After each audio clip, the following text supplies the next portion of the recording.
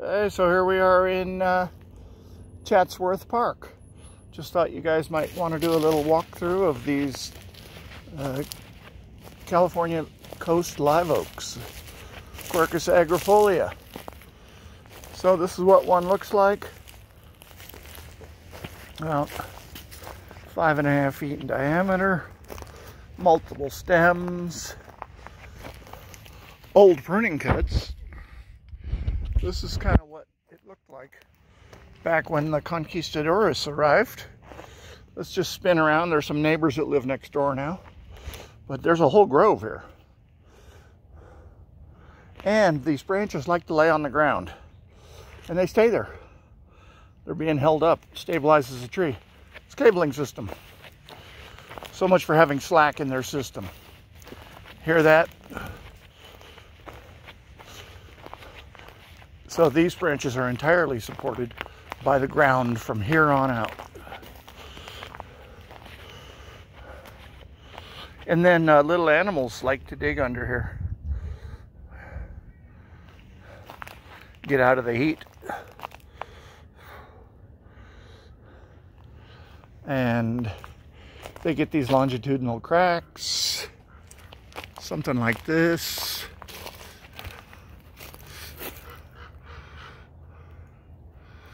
And what else is interesting? Oh yeah, the stubs. The stubs get healed over. Look at this one. This one's grown out. It's over itself by about a foot. And they've even got some good old live wound wood wrapping itself around there. Thanks to Al Shigo for that. Of course, I think all the people watching this video never knew Al and uh, some of us did. Quercus agrifolia. Let's let's look at some leaves. These are uh, evergreens. They're waxy. They're very drought resistant. The wax keeps them from desiccating. They're curved. That helps them curl up in the wind and become tornado streamlines and so the tree doesn't blow over. So that cup shape is actually uh, retractable. They turn into a little uh, tornado shaped tube.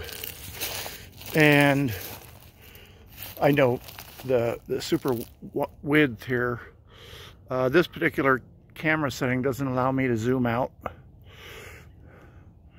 So this tree is like really wide. This tree here is, uh, you know, 75 feet wide. And they all grow together. They cast contiguous shade on the ground. They get maybe 10 or 20 inches of rain per year at the most.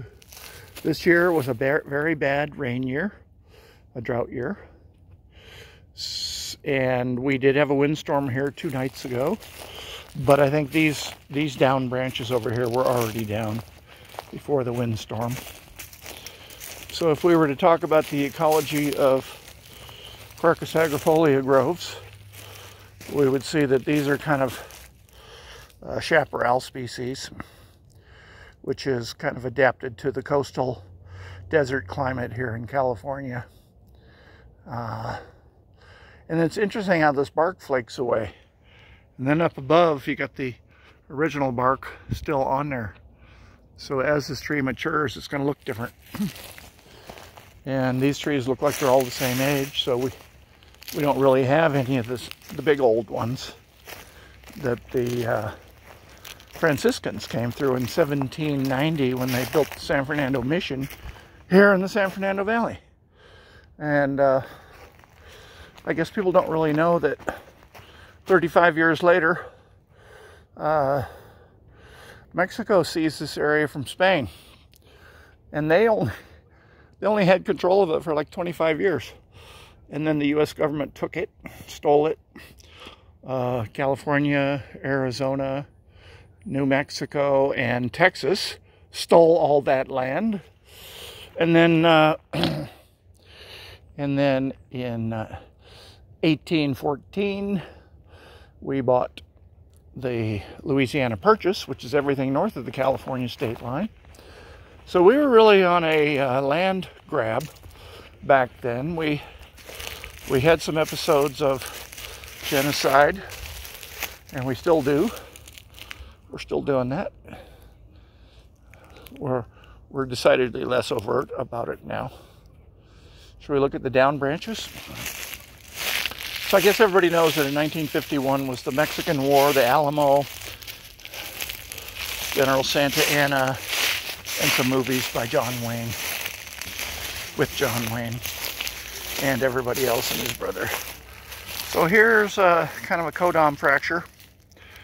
Uh, I know my buddies in plant pathology love this kind of geeky stuff, but you can see how everything right in, sorry, everything right in here was already loose.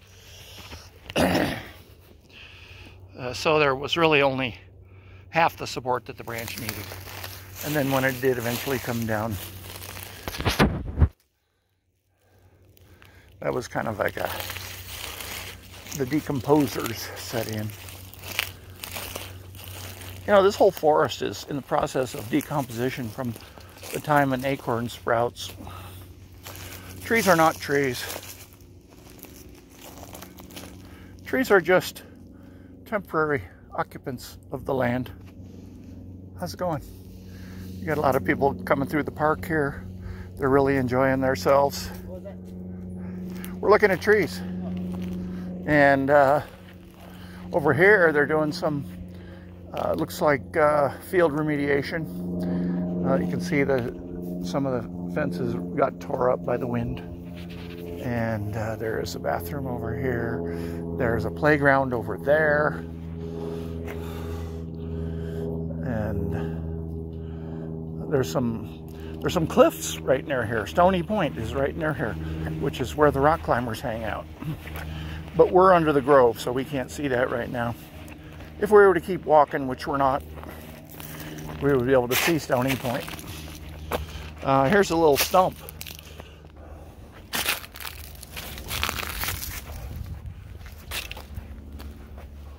Well, we got all kinds of major down stuff. Let's go look at this stump. I'm into stumps. To me, a stump is a time machine. I don't know about you guys. I love stumps. Stumps are highly educational. If I would just shut up and listen to the tree. You see, this tree is is talking to us. We can see that the ring patterns. Look at that. Let's get some people in the comments to post stuff about what they see here on this Quercus agrifolia. You know, I mean, there's going to be loggers that know what kind of chain was used to cut this thing down. It looks like they cut into the dirt, which was not very self-preservation compliant. Oh wow, we got some rocks over here.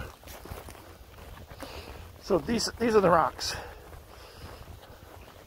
So this is a this is a really small um, uh, landslide area where we put this park here in this little valley that was not loaded with not loaded with steepness.